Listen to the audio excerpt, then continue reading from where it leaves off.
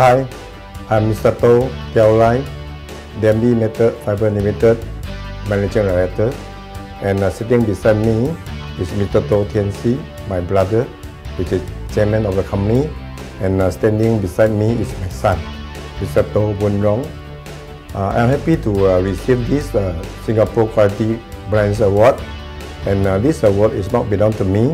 Actually, it's belong to our my company, my management and staff, and the foreign worker, and uh, whatever, and my customer and the bank support throughout these uh, 20 over years.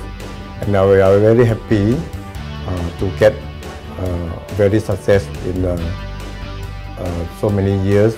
And we're getting stronger. And of course I will work very hard in future and to enhance the company to the uh, market as well. So uh, that's all. Thank you. Towards the coming years uh, I have, we have prepared to take our next generation which is To Bun Yong assistant director and we will do more on the society and uh, to uh, give more society what we can do in the uh, passing year.